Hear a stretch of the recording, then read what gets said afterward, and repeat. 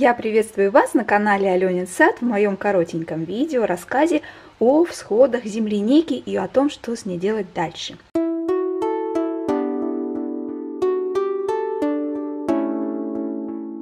Напоминаю, что 12 февраля я посеяла два сорта земляники альпийской, семена которой мне подарила Оксана. У Оксаны есть свой канал, называется «Оксана на севере». Были просто вопросы, как найти Оксану. Так как семена свеженькие, и Оксана очень добросовестный продавец семян, то, как видите, всхожесть оказалась фактически стопроцентная. Есть тут буквально, я вижу, одно, да, сегодня я вижу вот здесь вот одно семечко, которое еще пока что не проросло. Остальные семечки, которые отличались более мелкими размерами, они все равно проросли. Вот здесь вот их видно. Проросли, но гораздо позже. И, соответственно, конечно же, они пойдут в утиль. Никак я их дальше использовать не буду. А семена более крупненькие прорастать начали ровно на третий день. Вот я 12 посеяла, 15 я уже наблюдала первые корешки.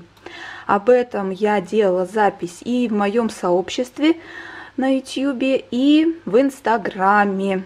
Я уже много раз говорила о том, что такие всякие интересности, которые происходят со мной каждый день, я выкладываю чаще всего в Инстаграм, потому что это проще, удобнее, и поэтому, если вам интересно очень тщательно следить за ходом моих действий, то подписывайтесь, конечно же, на Инстаграм. Там вы гораздо быстрее все узнаете. Например, когда появились первые всходы у земляники. Так вот, Алибаба у нас стопроцентная фактически всхожесть. На третий день они начали прорастать.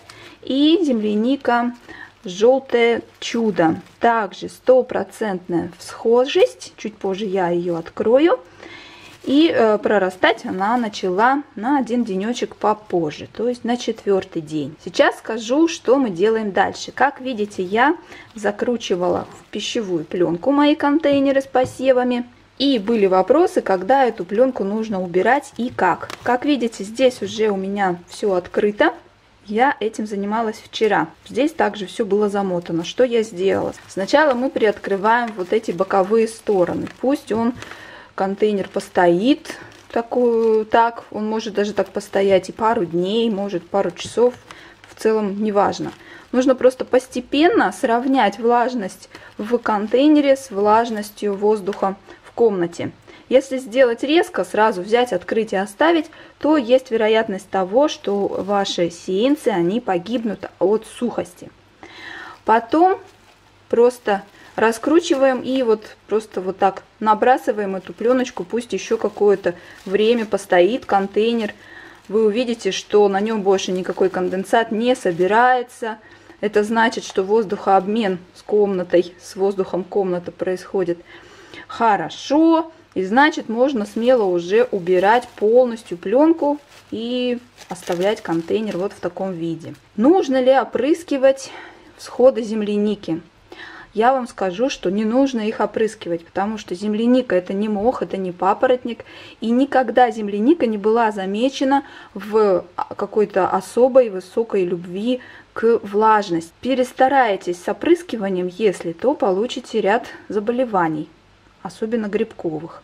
Но в то же время не, не пишите мне, пожалуйста, потом, что я против опрыскивания, или вы всю жизнь опрыскиваете, и у вас все хорошо. Опрыскивание – это не обязательный агротехнический прием в большинстве случаев. Но если у вас очень сухой воздух в квартире, очень сухой, а сеянцы, вот они только еще э, проклевываются, даже еще не все взошли, то можно, конечно, пару раз в день, один раз в день опрыскивать. И да, кстати, важный момент, когда я начала открывать контейнер, ни в коем случае не нужно открывать, когда у вас еще не все семена взошли, которые вы хотели бы, чтобы они взошли. То есть я дождалась, когда э, количество взошедших растений меня уже полностью устраивает, тогда стала открывать.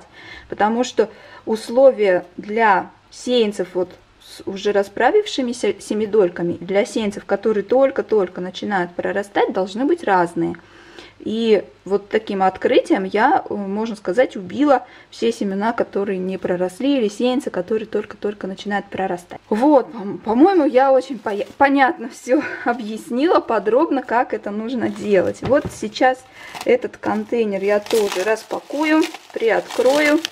И к концу дня он у меня уже будет полностью открытым стоять, дышать свободно. Все время, конечно же, я тоже не считаю необходимым все время сеянцы до высадки в огород держать под пленкой. Потому что в огороде все-таки будут совсем другие условия. И нет никакой необходимости все время держать под пленкой. К тому же пленка так или иначе все равно задерживает солнечный свет или свет лампы. И вот даже здесь видно, что эти я вчера открыла сеянцы, и они такие крепенькие, коренастенькие, а эти уже немножечко подвытянулись, потому что были закрыты и стояли немножечко в стороне от лампы. Был комментарий, на который я хотела бы ответить. Комментарий был по поводу того, что лучше делать теплицы из бутылок, потому что был печальный опыт того, что человек закрыл контейнер пакетом, пленкой, на пленке собрался конденсат, пленка стала тяжелая, опустилась на всходы, человек взял, резко убрал пакет, и всходы, приклеившиеся к конденсату, были уничтожены. А, это не проблема метода, конечно же, это проблема человеческого фактора, так называемого. Во-первых, у меня, вы видели, пленка натянута была плотно, вот так. Пищевая пленка славится тем, что ее можно так натянуть.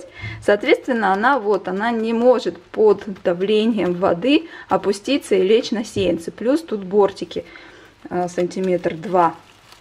Соответственно, там есть запас для роста. Да? То есть ну, у меня такой ситуации вообще никогда не было.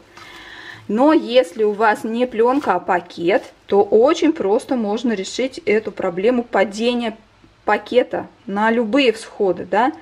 вы берете просто спички или зубочистки, или все, что есть у вас под рукой, щепки любые, втыкаете это в разных местах контейнера, можно в одном, можно в нескольких местах, и затем спокойно все это вы ставите в любой пакет, совершенно какой вам нужен.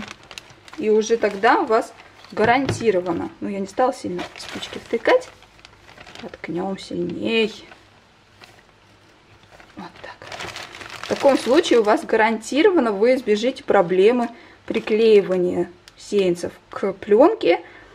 Ну и вообще конденсат нужно, если он очень сильно образуется, нужно либо приоткрывать пакет, чтобы конденсата так много не было, значит уж слишком много влаги в грунте, либо нужно протирать, убирать периодически этот конденсат, чтобы он не мешал формироваться растениям. Потому что, опять же, конденсат, он и препятствует солнечному свету, и он создает условия прекрасные для развития грибов. И еще один был комментарий, вспомнила сейчас, по поводу светочувствительности семян земляники. И мне, меня спрашивали, что не нужно ли поставить эту землянику на свет. Нет, не нужно, потому что светочувствительности – не отмечается у, у семян у этих. Я не ставила на подоконник для прорастания, я ставила в теплое место. Теплое место было у меня на рабочем столе. Там северное окно, сказать, что там какого-то ну, много света было нельзя. Э, если бы я поставила на холодильник или даже на радиатор какой-нибудь, количество света было бы такое же, да. Не могу сказать, что была абсолютно полная темнота, да, ничем таким э, светонепроницаемым контейнеры я не накрывала, но и прямой свет, какое-то особенное дополнительное освещение я для них не создавала, потому что землянике это не нужно. А вот температура тепленькая нужна, и если температура будет 22-25 градусов стабильно в течение вот э, первой недели, то все будет у вас хорошо. Ну, конечно же, при условии того, что семена будут качественные, свежие, правильно собранные Тогда стопроцентный результат. И сейчас моя земляника стоит на подоконнике э, в контейнере от мини-домашнего огорода. Но лампу я повесила от мини-фермера, потому что лампа, которая в комплекте к этому огороду шла, она послабее, чем вот эта мини-фермерская лампа. Она мне больше нравится, поэтому я ее повесила. Здесь у меня базилик, который я сеяла в самом конце декабря перед Новым годом видео. Вы видели его уже, вот такой красавчик растет. И чесночок. Прорастал чесночок, я его просто засунула в контейнер. Но сейчас, конечно же, в центр под лампу я поставлю земляничку, потому что она маленькая и ей нужно больше света. А базилик, он, в принципе, не очень чувствителен к освещению, я заметила, не только я. Поэтому постоит немножечко в сторонке, а уж тем более, конечно, в сторонке постоит чеснок. Вот, вот здесь вот будет стоять земляника. Сейчас я руку освобожу и смогу ее сюда поставить. И здесь у нас Диане на огороде, где она посеяла фасольку. Фасолька так замечательно растет, развивается, такая крепенькая, красивенькая, просто милашка. Не забывайте поставить пальчик вверх, подписывайтесь на канал Аленин Сад, жмите на колокольчик, вам будут приходить оповещения о том, что вышло новое видео на моем канале. И летом мы посмотрим, как эта замечательная земляничка будет плодоносить. Надеюсь, что будет так же, как и у Оксаны, гроздями свисать красиво с грядок. Желаю вам богатого урожая, всего доброго и до новых встреч!